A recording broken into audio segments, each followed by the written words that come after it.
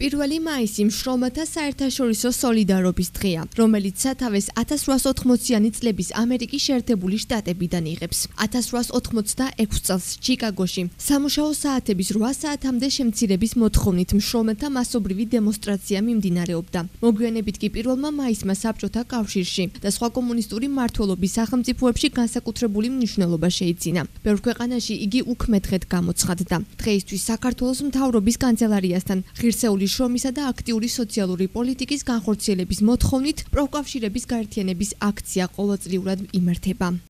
რომელიც რომელთა დღეზეა საუბარი ჩვენო თუ სადმე კერძო კერძო რაღაცა კომპანიები რაღაცა თავიანთ ჩამოყვანილ ხალხს დაასაქმებენ. თუ ქართველის ამუშავებს გახიზნულია თელი საქართველო.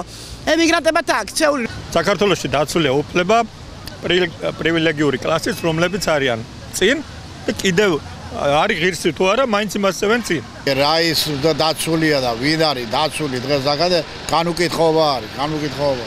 საფი რენუერი შევ და პენსია იღე 3 თვის, ანუ საჭმელო ვჭავთ. აღა უნდა, რა უნდა, სადა არამე.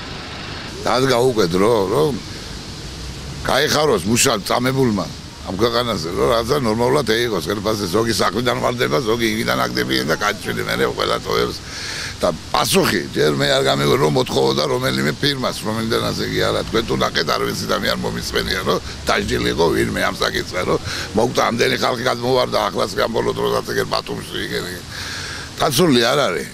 ისე როგორც ყველა ადამიანი არა ვარ დაცული ნეტავი იყოს ისა ვიზდორე რომ სავსე იყოს ქუთაისი იმ ხალხით ვინც დოვლათს ქნიდა ამ ქალაქში. რა არაფერი დოვლათი არ ექნება და აი ამას ვამბობ რა დაუცველი ვარ აბსოლუტურად. რა მარტო ის ვინც შახტაში არის, ვინც ზევით ვართ, ჩვენც დაუცველე და აბუჩათ აგდებულები ვართ. უყურებ რომ ყოველ თვეში რამოდენიმე ადამიანი მშენებლობებზე დება. მანამდე მეშახტეების მდგომარეობა როგორი იყო ტყიბულში იცით და საერთოდ აი გვირავი რო კეთდება სარკინიგზო გვირავი, იქაც ძალიან რთული მდგომარეობა და ყველაფერს რო თავი დავანებოთ, მარტო აქ კი არა. ქართველი ადამიანების შრომელი ადამიანების უფლებების საშინელ მდგომარეობაში არის უცხოეთში. უცხოეთში ჩვენი ქართველები, რომლებიც მუშაობენ, ისინი მართლა მონურ მდგომარეობაში არიან და მონურ პირობებში, მაგრამ საუბედუროდ პატრონი არ არის ჯერჯერობით. 45 წელი ვიმუშავე ავის კომბინაციაში, მაშინ ფასი ქონდა მუშაობა. დღეს არაფერი არა. თუ გინდა იმუშა, თუ გინდა არ იმუშა.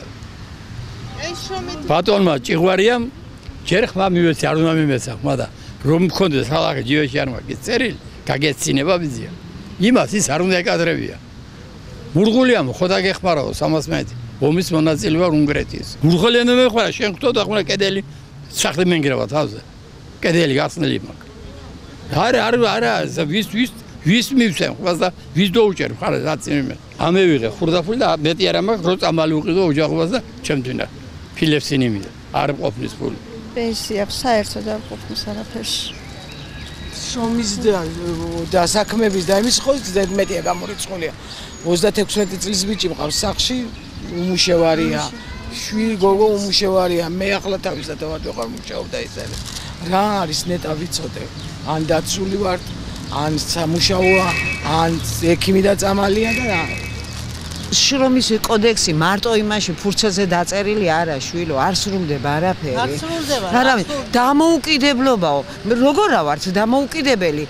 მაგათთვის ეს ამას ნიშნავს ალბათ ეს დამოუკიდებლობა რომ რაც გინდა ისაკეთე რაც გინდა ისვი ისჭამე არ კითხულობს არავინ არ აინტერესებთ. არჩევნების დროს ახსენებათ ხალხენსია დანიშნული არა გაქვს სამსახურში ვერსად ვერ მუშაობ და ჰაერში ვართ ჩამოკიდებულები. ასეთი მიშვებული ქვეყანა მივახლოვდი 70 წელს და მე არ ვიცი. და იმას ვისაც ან პენსია არ ყოფნის, ან სამსახური არა ასეთ აბადიაში მე არ ყოფნი რომ არასდროს არაფერი არ ეშველება.